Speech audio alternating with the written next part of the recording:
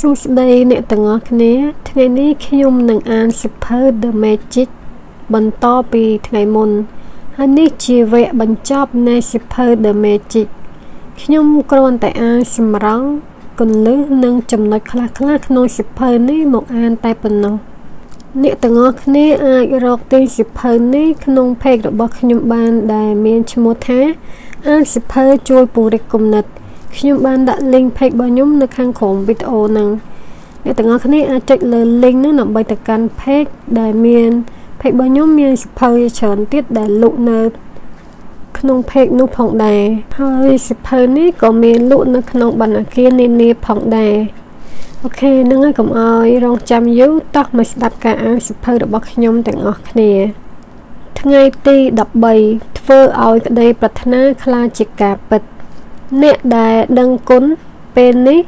នឹងទទួលបានកាន់តែច្រើនក្នុងថ្ងៃអនាគតហើយគេនឹងបានយ៉ាងសម្បូរហូរហៀថ្ងៃទី14ទិវាស័ក្តិសិទ្ធិ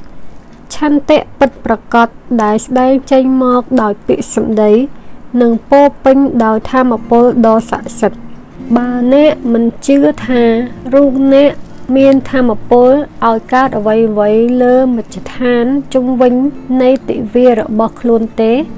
ចូលគិតដល់ពេលដែលអ្នកក្រោកឡើងទាំងអារម្មណ៍មិនល្អនិងមួម៉ៅនោះអ្នកនឹងប្រព្រឹត្តជីវិតប្រចាំថ្ងៃក្នុងនោះដោយធ្វើអ្វីអ្វីហាក់ដូចជាខុសទាំងអស់រហូតដល់ថ្ងៃនោះចប់ហើយអ្នកបានត្រឹមតែឧទានឡើងថា ថ្ងៃនេះ ពិតជាថ្ងៃសោយរបស់ខ្ញុំហើយសំបីតែការក្រោកឡើងដោយអារម្មណ៍មួម៉ៅក៏ពុំមែនកើតឡើងដោយចៃដន្យដែរគឺព្រោះតែពេលចូលគេងអ្នកគិតដល់រឿងអវិជ្ជមានម្យ៉ាងដោយមិនដឹងខ្លួនក៏ថាបាន ពេលបើការរំលឹកគុណដើម្បីឲ្យមានទិវាស័ក្តិសិទ្ធិការរំលឹកគុណក៏នឹងជួយទប់ស្កាត់បញ្ហា ឬឧបសគ្គផ្សេងផ្សេង ដែលអាចនឹងកើតឡើង ថ្ងៃទី15ជំរះសៅមងពីសម្ព័ន្ធភាពយ៉ាងស័ក្តិសិទ្ធិ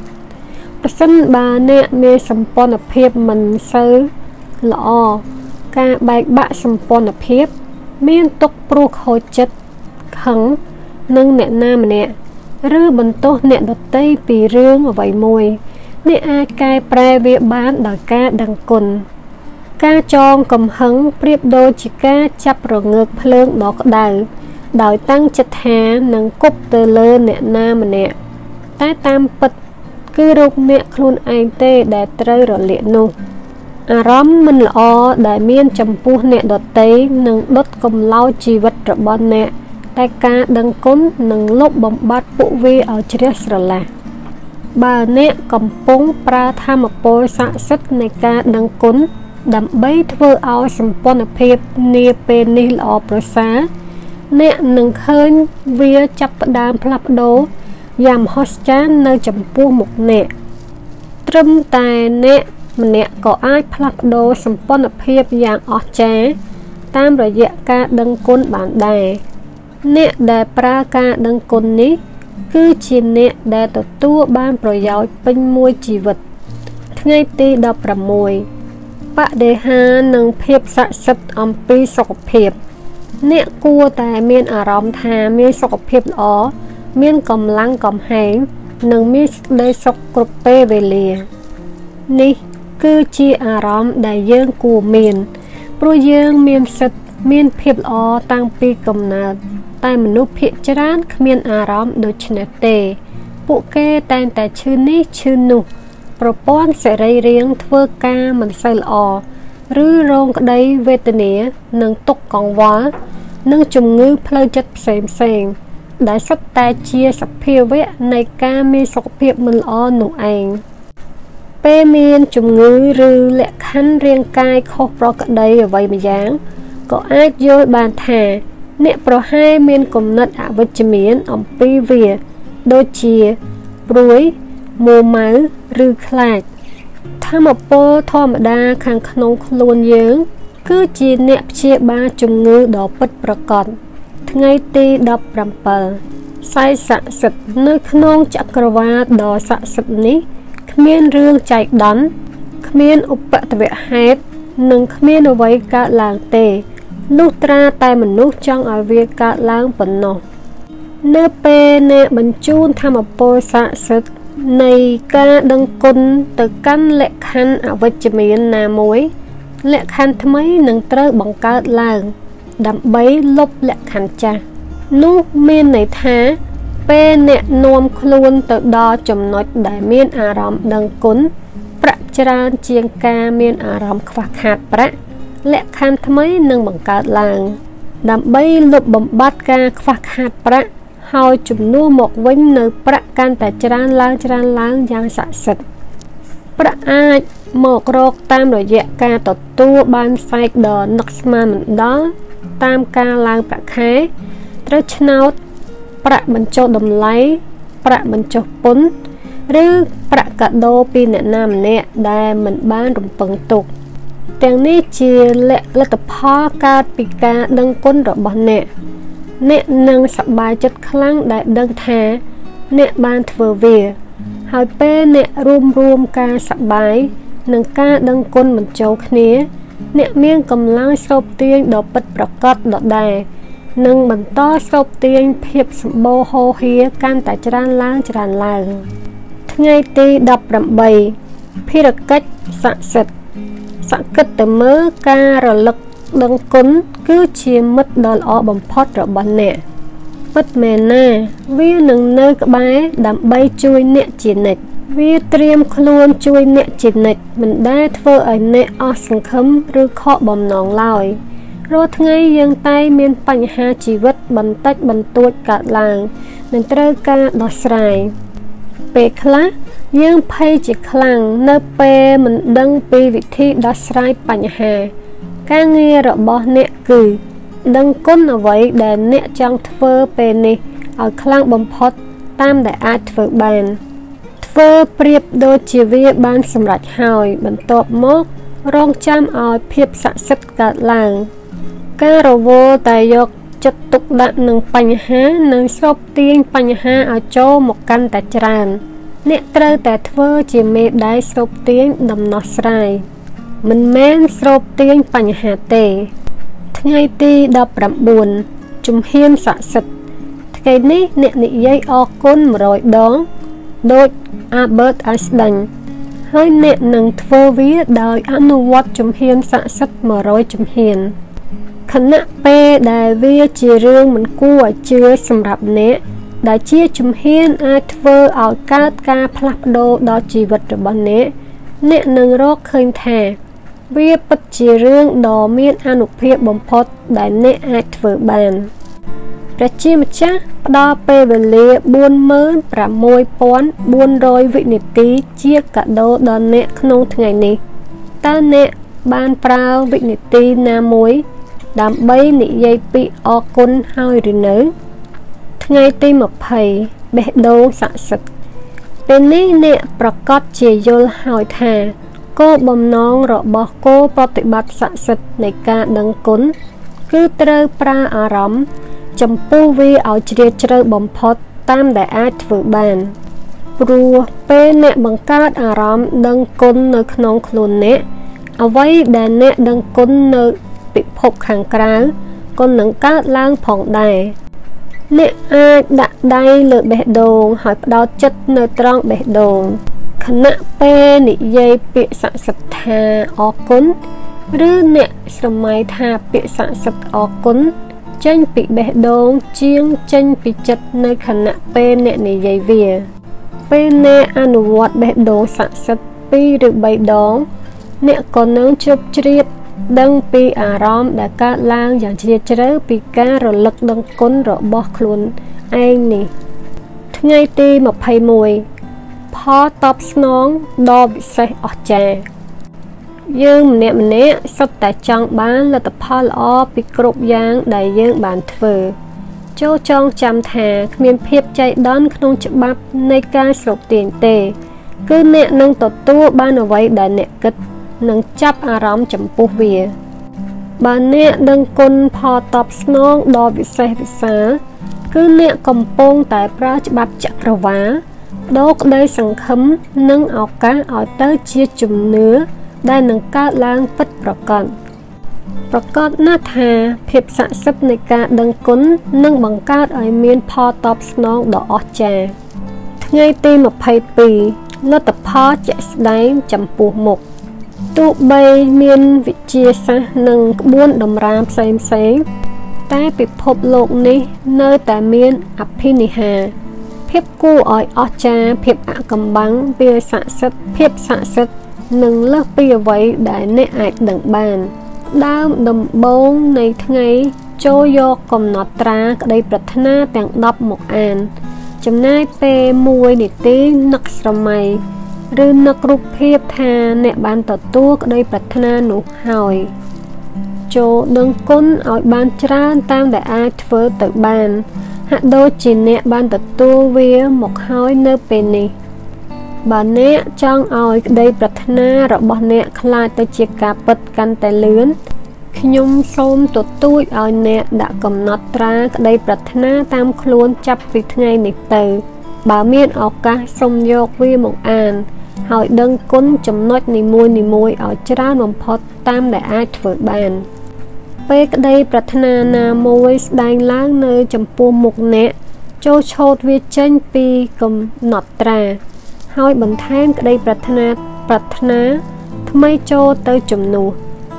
ថ្ងៃទី23ខ្យល់ឱកាសស័ក្តិសិទ្ធិដែលអ្នកដកដង្ហើមចូល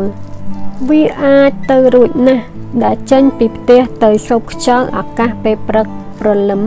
ហើយត្រឡប់មកវិញប្រៀបដូចជាមនុស្សផ្សេងទៀត គឺរីករាយនិងស្រស់ស្រាយជាទីបំផុតហេតុអ្វីមនុស្សយើងត្រូវដឹងគុណខ្យល់អាកាសវាពុំមែនជារឿងចៃដន្យទេដែលដើមឈើភាយអុកស៊ីសែនចេញមកដើម្បីឲ្យបរិយាកាសរបស់យើងមានអុកស៊ីសែនកើនឡើងជាបន្តបន្ទាប់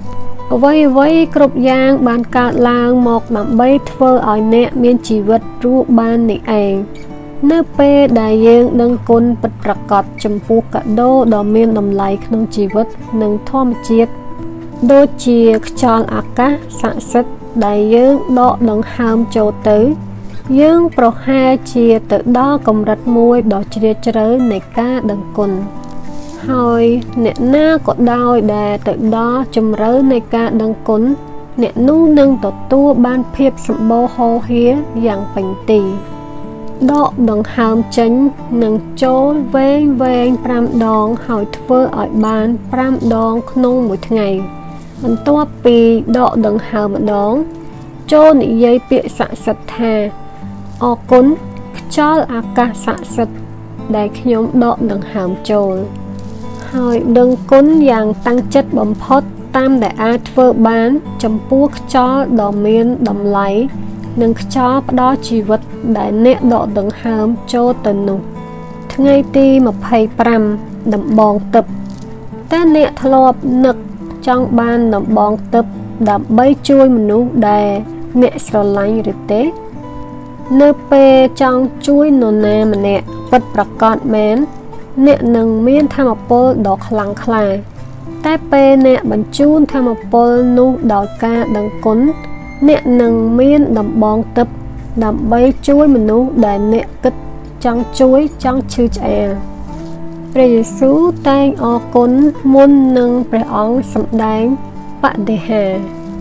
ការដឹងគុណជារឿងដែលមើលមិនឃើញតែកម្លាំងពិតជាពិតនៃធម៌ពលគួបផ្សំនឹងធម៌ពលនៃក្តីប្រាថ្នារបស់អ្នក គឺហាក់ដូចជាអ្នកមានដំបងទឹកក្នុងដៃដូច្នោះដែរដើម្បីក្រវីដំបងទឹកជូនមនុស្សដែលអ្នកស្រឡាញ់អំពីរឿងទ្រព្យសម្បត្តិចូលធ្វើតាមគោលប្រតិបត្តិស័ក្តិសិទ្ធិដូចគ្នានេះ ហើយនឹងដឹងគុណហាក់ដូចជាគេបានទទួលទ្រព្យសម្បត្តិដែលគេត្រូវការរួចហើយនៅពេលនេះ ចូលស្រមៃមនុស្សដែលអ្នកចង់ជួយថា ហិរញ្ញវត្ថុរបស់គេត្រូវបានសង្គ្រោះពេញលេញនិងរួចរាល់ហើយហើយអ្នកកំពុងនិយាយអរគុណចំពោះអ្នកទៅនឹងទទួលដំណឹងដ៏អស្ចារ្យនេះ ថ្ងៃទី26សញ្ញានាំផ្លូវស័ក្តិសិទ្ធិជីវិត គឺជាល្បែងសម្រាប់លេងយើងចាំបាច់ត្រូវតែលេង ដើម្បីរកឲ្យឃើញភាពស័ក្តិសិទ្ធិជំវិញខ្លួនយើងសាជាថ្មីម្ដងទៀត ចក្រវាលដឹងថាអ្នកចាំបាច់ត្រូវដឹងគុណដើម្បីសុបិនខ្លាចជាការពិតដូច្នេះចក្រវាលមានតួនាទីក្នុងល្បែងនេះដោយផ្ដល់ជាសញ្ញានាំផ្លូវផ្ទាល់ខ្លួនដើម្បីចាំដាស់តឿនឲ្យអ្នកចេះរលឹកដឹងគុណចក្រវាលប្រើមនុស្សមជ្ឈដ្ឋានជំវិញនិងហេតុការណ៍ជំវិញនៃជីវិតប្រចាំថ្ងៃរបស់អ្នកដោយសញ្ញានាំផ្លូវស័ក្តិសិទ្ធឲ្យរលឹកដឹងគុណ អ្នកកាន់តែឆ្លាតវៃនិងយល់ដឹងច្បាស់ប៉ុណ្ណា អ្នកកាន់តែដឹងគុណខ្លាំងប៉ុណ្ណាដាក់ប៉ុណ្ណោះដែរហើយស្រូបទាញក្តីសុបិនរបស់អ្នកឲ្យคล้ายទៅជាការពិតកាន់តែងាយផងដែរចក្រវាលកំពុងតែចង្អុលបង្ហាញសញ្ញាស័ក្តិសិទ្ធិឲ្យយើងហើយថ្ងៃទី26បង្វែរកំហុសឆ្គងឲ្យខ្លាចជារឿងល្អយ៉ាងស័ក្តិសិទ្ធិ បដូរមុខរបួសទៅជាបញ្ញារាល់កំហុសឆ្គងតែមានពរជ័យបង្កប់នៅខាងក្នុង យើងមានសេរីភាពក្នុងការជ្រើសរើសដោយខ្លួនឯងមានន័យថាយើងក៏មានសេរីភាពក្នុងការធ្វើខុសផងដែរកំហុសអាចធ្វើឲ្យឈឺចាប់ តែបើយើងមិនបានរៀនសូត្រពីកំហុសរបស់យើងនោះទេ ការឈឺចាប់នេះនឹងគ្មានតម្លៃអ្វីទាំងអស់ ថ្ងៃទី28កញ្ចក់ទឹកពិភពរបស់អ្នកផ្លាស់ប្ដូរយ៉ាងមហស្ចារ្យបានព្រោះអ្នកនេះនេះហើយដែលផ្លាស់ប្ដូរដូច្នេះអ្វីដែលអ្នកកំពុងស្រូបទាញក៏ផ្លាស់ប្ដូរដែរពេលអ្នកដឹងគុណភាពជាខ្លួនអ្នកអ្នកនឹងស្រូបទាញសភាពបរិយាកាសដែលធ្វើឲ្យអ្នកមានអារម្មណ៍ល្អនិងខ្លួនឯងកាន់តែច្រើន ហើយអ្នកនឹងសម្បូរទៅដោយអារម្មណ៍ល្អៗចំពោះខ្លួន ដើម្បីនាំភាពមានបាននៃជីវិតមករកអ្នកការដឹងគុណចំពោះខ្លួនឯងគឺជាការបំពេញភាពមានបានឲ្យខ្លួនឯងពេលអ្នកដឹងគុណអ្នកនឹងមិនបន្ទោសខ្លួនឯងពេលដែលធ្វើខុសថ្ងៃទី28ការចងចាំភាពស័ក្តិសិទ្ធិ ជារៀងរាល់ថ្ងៃតែងតែមានរឿងដោយឡែកដោយឡែកពុំមានថ្ងៃណាដូចគ្នាទេរឿងល្អល្អដែលកើតឡើងក្នុងមួយថ្ងៃមួយថ្ងៃក៏ខុសគ្នា ហើយផ្លាស់ប្ដូរជានិច្ចតើអ្នកជួបរឿងល្អច្រើនប៉ុណ្ណា ហើយតើអ្នកដឹងគុណរឿងនីមួយនីមួយនោះច្រើនប៉ុណ្ណាពេលអ្នកចងចាំនិងកត់ត្រារឿងនីមួយនីមួយទុកហើយចូលនឹកគុណ ហើយនិយាយពាក្យស័ក្តិសិទ្ធិចំពោះរឿងនីមួយនីមួយថាអរគុណចូលចងចាំភាពស័ក្តិសិទ្ធិព្រោះការចងចាំភាពស័ក្តិសិទ្ធិគឺត្រូវបានច្នៃប្រឌិតមកដើម្បីអ្នកនេះហើយអនាគតដ៏ស័ក្តិសិទ្ធិរបស់អ្នកអ្នកគឺជាអ្នកសាងជីវិតដោយខ្លួនឯងហើយការដឹងគុណគឺជាឧបករណ៍ដ៏មហស្ចារ្យដែលប្រើសម្រាប់សាងជីវិតដ៏មិនគួរឲ្យជឿនេះ ពេលនេះអ្នកបានចាក់ឫសហើយដោយឆ្លងកាត់គោលប្រតិបត្តិទាំងអស់កន្លងមក ហើយដោយសារតែឧបករណ៍នៃការដឹងគុណនេះ អ្នកកំពុងតែសាងសង់អគារនៃជីវិតរបស់អ្នកមួយជាន់ទៀតហើយភាពស័ក្តិសិទ្ធិពុំមានទីបញ្ចប់ តាមរយៈគោលប្រតិបត្តិដឹងគុណគឺអ្នកកំពុងប្រើច្បាប់ចក្រវាលដ៏ពិតប្រាកដហើយគ្មានផ្លូវខុសឆ្គងទេ នោះគឺជាអំណោយទានពីចក្រវាលដើម្បីអ្នកហើយវាបន្តនៅ ដើម្បីអ្នកប្រើវានឹងនាំជីវិតឲ្យឈានបានវែងឆ្ងាយការដឹងគុណគឺជាការផ្សះផ្សាសម្ព័ន្ធភាពដែលបាក់បែកឬប្រឆាបង្កើនសុខភាពដែលមិនល្អហើយដោះស្រាយកង្វល់ខ្វះខាត បង្កើតសេចក្តីសុខសាន្ត ការដឹងគុណនឹងលុបបំបាត់ការភ័យខ្លាច ការព្រួយបារម្ភការសោកស្ដាយខកចិត្ត